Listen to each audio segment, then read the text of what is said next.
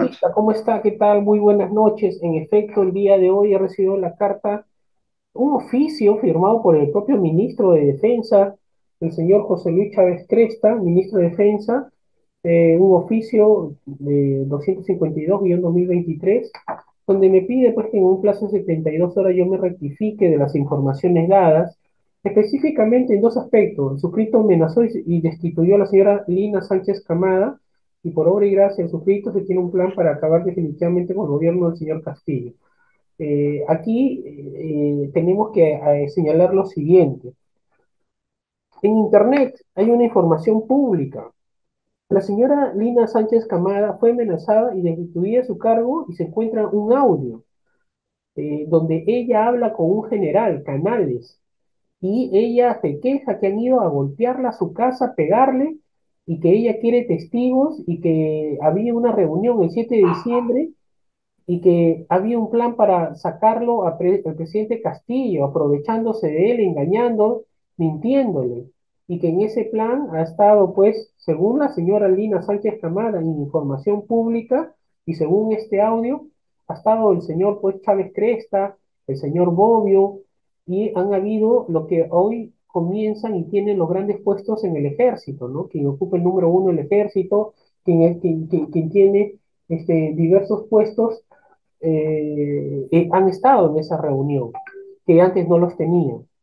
Luego también la señora Lina Sánchez Camada tuvo una entrevista con la periodista Milagros Leiva el 14 de marzo del 2023, donde aparece y Milagro Negra pregunta, ¿por qué Chávez Cresta no le dijo a la presidenta Boluarte que el día 7 de diciembre del 2022 estuvo en el Ministerio de Defensa?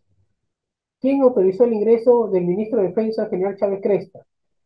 Y el golpe al profesor Castillo ya estaba planeado, según lo que dice la señora Lina Sánchez Camada, ella dice, ya estaba planeado, ideado, y que lo han emboscado al presidente Castillo, le han mentido y le han obligado a leer un discurso. Eso está en el audio de la entrevista que hace.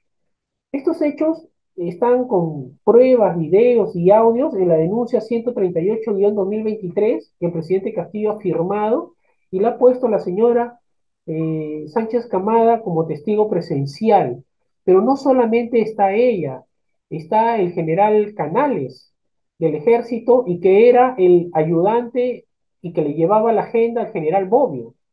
Entonces, este general del ejército eh, eh, se escucha en el audio, dice pues que al presidente Castillo le han engañado y que a la señora Sánchez Camada le han ido a golpear unos marinos, le han ido a amenazar a su hija, le han ido a Cañete, y que estos marinos tienen mucha vinculación con Montoya y también explica que el día 7 de diciembre había una edecán de apellido Palacios que iba del Ministerio de Defensa a hablar con el general Williams, presidente del Congreso. ¿Qué tenía y qué coordinaciones había entre el Ministerio de Defensa con el presidente del Congreso Williams? ¿Qué tenía que decirse, planearse, edificarse? Y que también señala que cuando el presidente Castillo lee el discurso y lo hace temblando es que ya le habían dicho que las Fuerzas Armadas no estaban con él y que lo habían engañado, lo habían utilizado, se habían burlado de él. Y que inclusive un general que estaba ahí presente y que todos lo vieron, eh, dio un litro de democracia y que este, la dictadura había caído. Entonces, estos hechos están en la denuncia penal eh, 138 del 2023 y también están presentados como testigos en el caso de conspiración, rebelión y abuso de autoridad.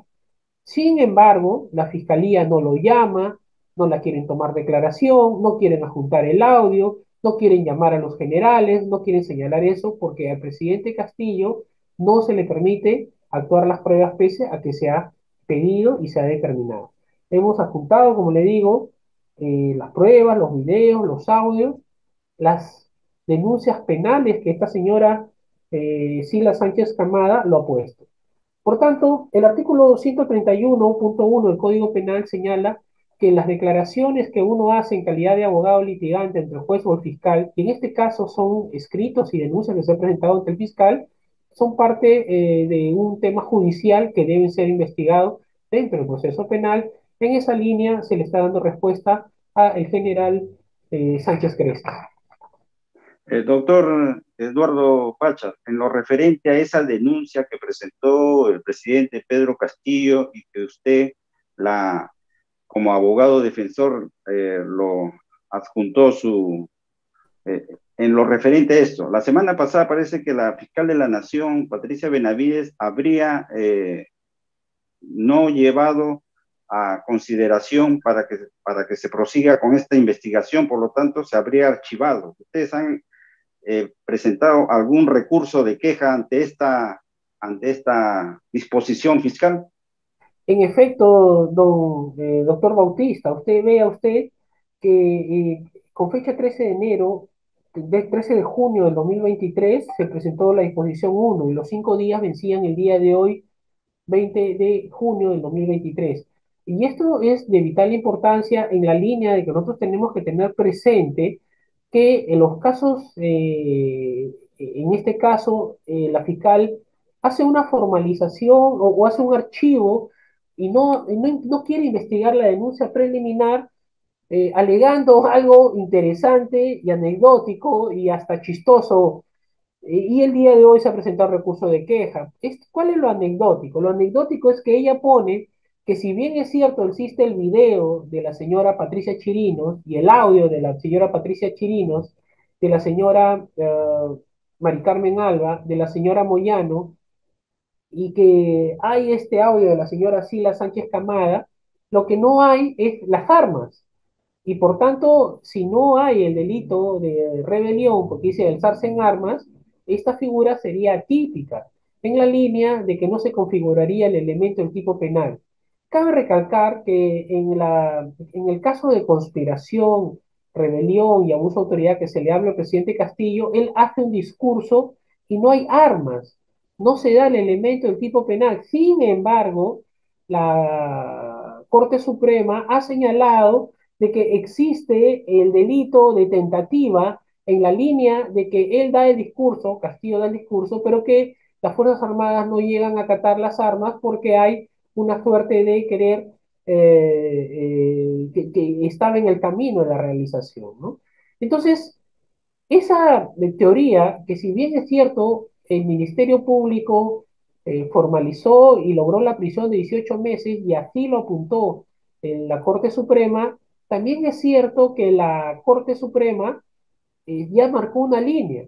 Si esa puerta ya ha sido abierta, vale decir que conspiración son los que se juntan, hablan y dicen, y la señora Mari Carmen Alba en el audio que se le pone y dice ella claramente, van a ir varios constitucionalistas y todos ellos van a decir que solamente son elecciones presidenciales y no eh, van a ser elecciones eh, eh, congresales, solamente presidenciales. Y en ese sentido vamos a nosotros razonar y así se va a señalar. Vale decir, en palabras simples, iban a deformar la constitución utilizando a determinados constitucionalistas, que el día de hoy sabemos que la señora Dina tiene 10 constitucionalistas que están, pues, y todos ellos son expresidentes del Tribunal Constitucional y están asesorándola, ¿no? Por tanto, esa línea y ese camino eh, se ha seguido. Eh, esto es fundamental y es importante porque eh, sí existe y sí hay delito. Entonces, ¿qué hemos hecho nosotros? En primer lugar, señalar que la señora fiscal de la Nación, en el recurso de elevación de actuados de la Junta Fiscales Supremos, hemos señalado de que la fiscal de la Nación, Patricia Liz Benavides, en la línea de que tiene una medida cautelar por la organización de la ONU, eh, eh, porque ella mencionó que el presidente Castillo la perseguía y que su gobierno era víctima de una persecución y logró una medida cautelar en la Comisión Interamericana de Derechos Humanos, el artículo 61.2 del nuevo Código Procesal Penal advierte que aquel que es víctima del eh, imputado eh, no tiene y debe de inhibirse. Por tanto, ella debió de haberse inhibido y esto pasará al fiscal supremo más antiguo, específicamente al señor fiscal supremo Pablo Sánchez Velarde, lo cual no se realizó o no se hizo. Esto es importante determinarlo porque la fiscal de la Nación eh, debió haberse inhibido en todo el extremo y pasarlo al señor Pablo Sánchez, quien debió de haberse eh, pronunciado al respecto y no lo hizo. Otro aspecto fundamental es que ya la Corte Suprema en el delito de conspiración y rebelión advertiría que el tema de salirse o de señalar o de hablar y ponerse de acuerdo para el tema de usar las armas terminaría en un tema de secuencia que la señora Moñano, la señora eh, Carmen Alba, la señora Patricia Chirinos, todas ellas han hablado y las armas han sido utilizadas al momento de la detención el 7 de diciembre en la avenida Wilson, cuando al presidente Castillo lo van a detener y lo apuntan con fusil en mano, dada esta orden al general Vicente Salazar y el, coronel eh, Brian A. Eh, Ramos, que era jefe de Palacio de Gobierno. Esto es fundamental porque las armas sí existieron y fueron en contra del presidente Castillo y aparece en la avenida Wilson. Y ahí es donde hay inclusive una, eh, un plan para matarlo, que es lo que se ha denunciado. El doctor Eduardo Pacha, eh, también están participando aquí en este conversatorio legal el doctor John Vargas Vargas y el doctor Adolfo Lachea. Y ellos al inicio de este programa eh, tratamos el tema de la prisión preventiva de la ex premier Bexy Chávez. Eh, en estos momentos tendría que son consecuentes la sala penal suprema referente a la prisión en un primer momento del señor Pedro Castillo, ahora ya han ordenado su prisión preventiva de Bexy Chávez, entonces eso sería como un preludio de que se van a ir atrás de los otros exministros y asesores, inclusive el señor Aníbal Torres. ¿Cuál es su apreciación al respecto?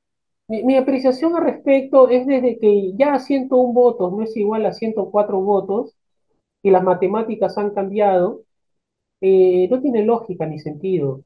Por tanto, eh, debería proceder al asilo diplomático o asilarse a las personas, porque ya comienzan una persecución contra todos los ministros y exministros de Estado. Y eso no es derecho ni es justicia, eso es venganza. Entiéndase usted también que inclusive 104 eh, votos no es igual a 101 y hasta ahora eh, nadie, ni la Corte Suprema, ha dicho que eh, no ha habido 104 votos.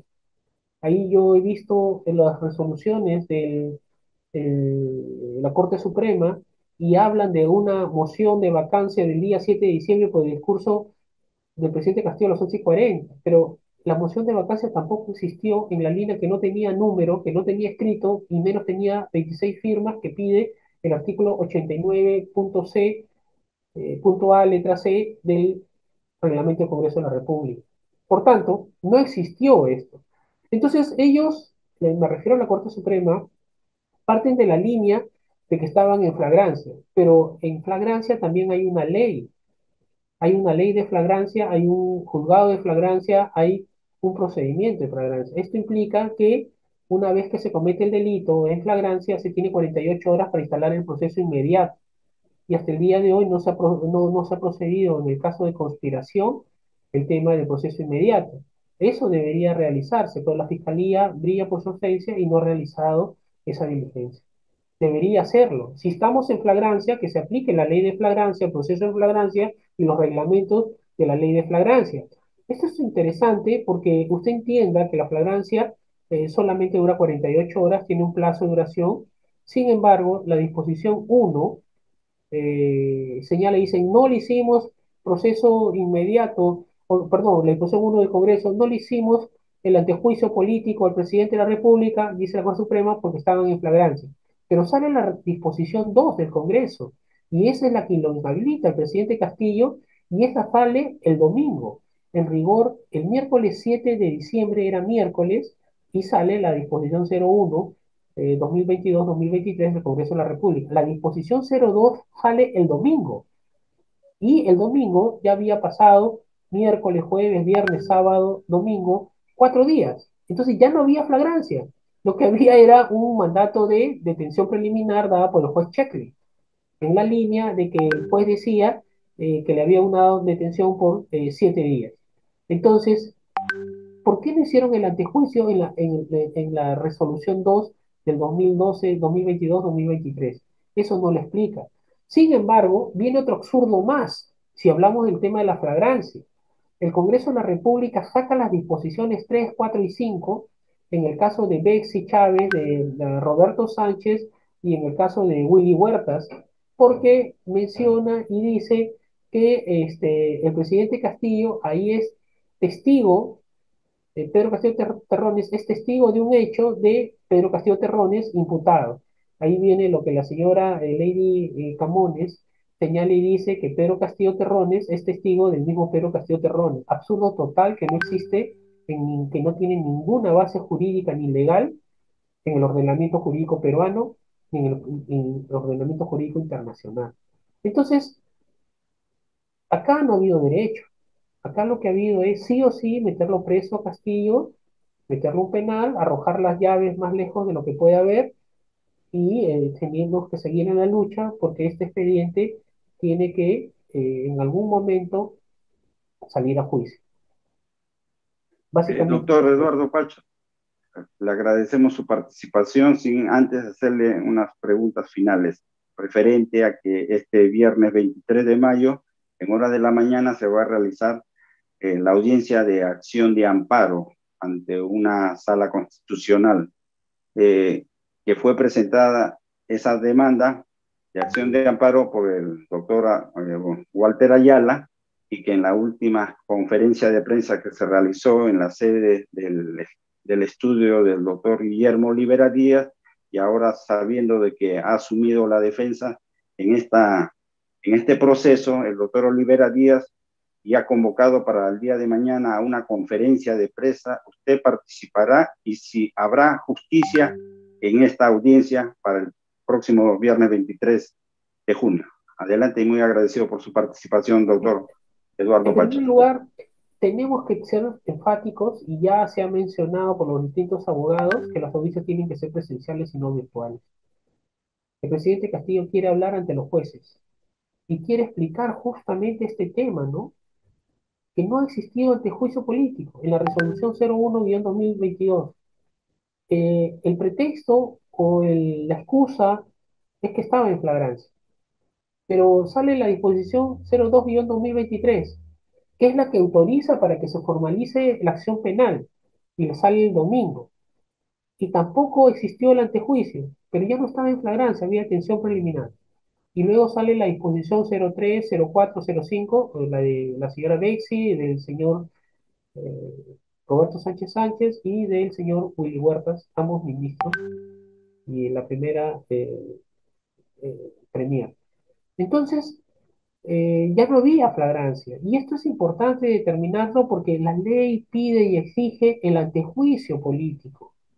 Si no hay antejuicio político, no se puede determinar. Ellos mencionan y dicen, el presidente Castillo está en flagrancia, pero la ley de flagrancia también tiene un procedimiento. Existe la ley, existe un juzgado de flagrancia, existe un procedimiento de flagrancia, que es aquel que lo capturan en flagrancia, dos días, se instala el proceso inmediato, se llama juicio oral y se comienza el proceso penal.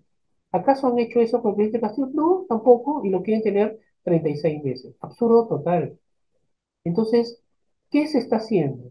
se está creando una ley, un procedimiento con nombre propio, tenga usted presente que por el principio de legalidad procesal y, por y que nadie puede ser sometido a procedimiento distinto al que la ley señala o inventar.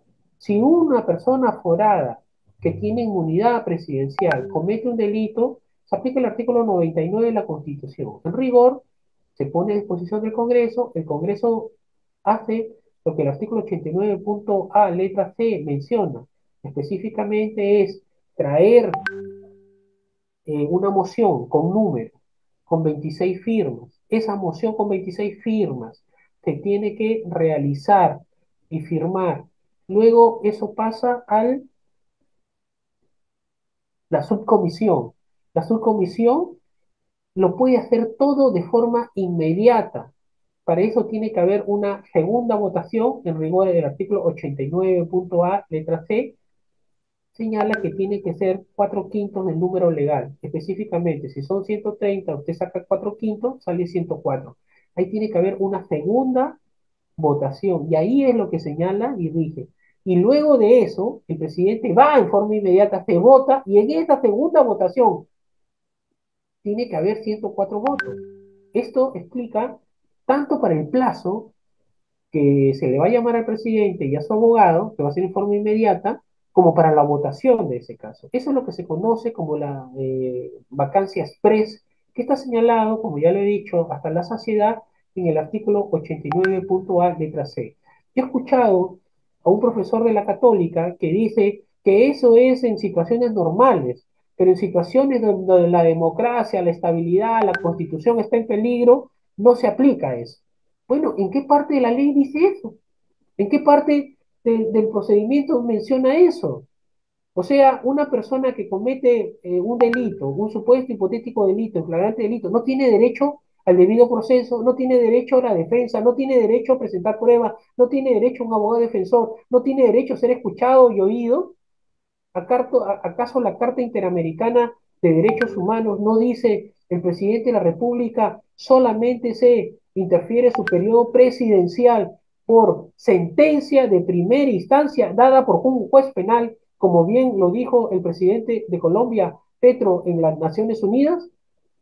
Y eso es cierto, pero acá nos vienen nos inventan y nos crean cada cosa que sorprende a uno. Eh, en el derecho, como en las matemáticas, todo es claro.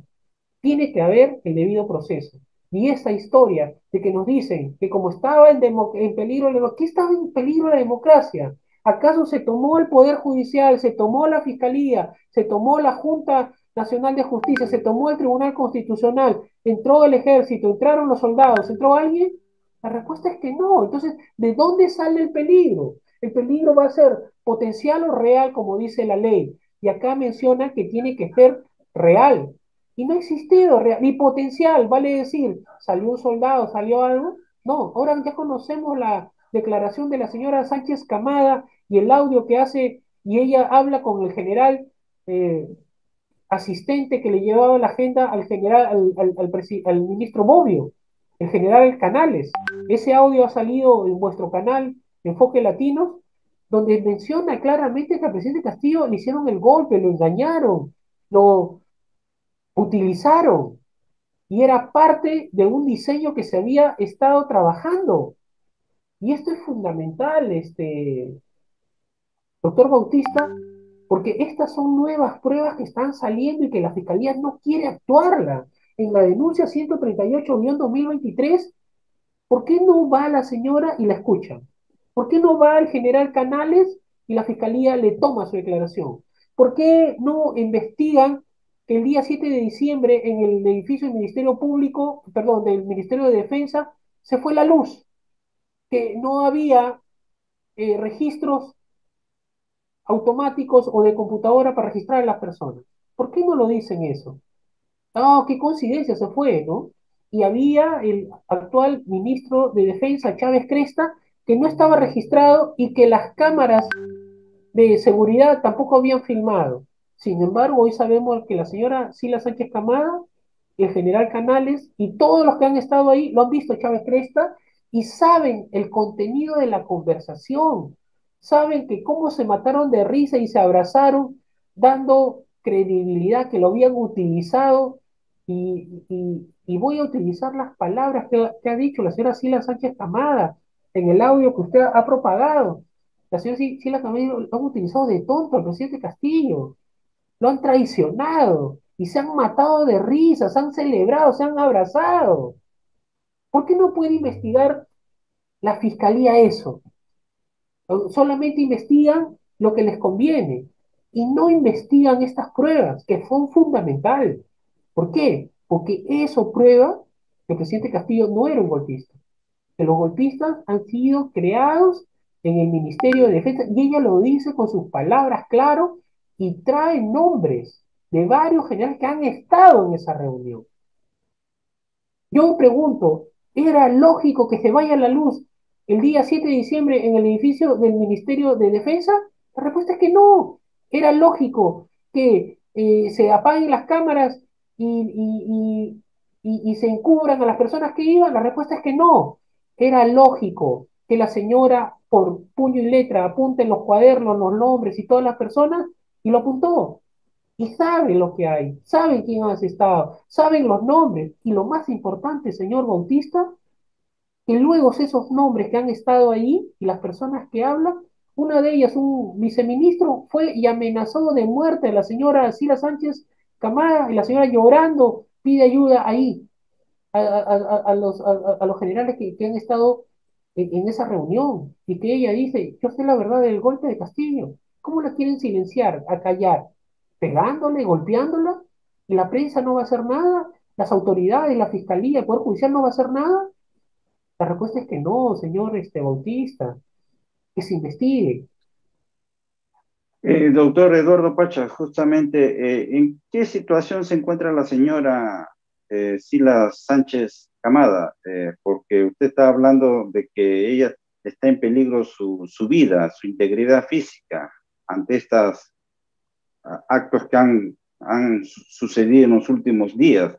en estos momentos se encuentra en un lugar seguro para que si lo convoca el Ministerio Público pueda eh, declarar ante el fiscal? Mire, la señora Sila Sánchez Camada fue destituida del Ministerio de Defensa, pues salió del Ministerio de Defensa. Y ella puso una denuncia contra el viceministro. Y la denuncia, como siempre y como todo, fue archivada. Porque cuando se habla del golpe contra Castillo, todo se archiva.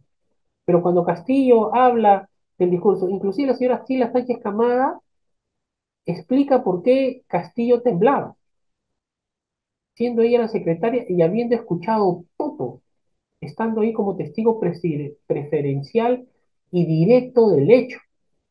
Entonces, ¿dónde está la señora Sila Sánchez Camada? La verdad que no lo sé. Lo que sí sé es que están sus audios y que las autoridades la deben de convocar.